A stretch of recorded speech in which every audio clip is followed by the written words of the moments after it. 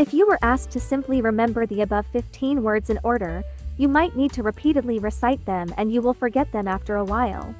Red flag, rocket, clothes hanger, little bird, telescope, Statue of Liberty, monkey, basketball, ocean, Boston, whale, skydiver, parachute, playground, college students. But what if you used association to remember them? Imagine a giant red flag blocking a soaring rocket and hanging it in midair with a clothes hanger. A little bird stands on the rocket holding a telescope, seeing a group of monkeys playing basketball on the Statue of Liberty. The basketball is thrown into the ocean, floats to Boston, and is swallowed by a whale. Unexpectedly, the basketball then transforms into a skydiver. He opens his parachute, lands on the playground, and meets college students. Do you remember them all perfectly? Try reciting them backwards and you'll still remember them, and they will be less likely to be forgotten.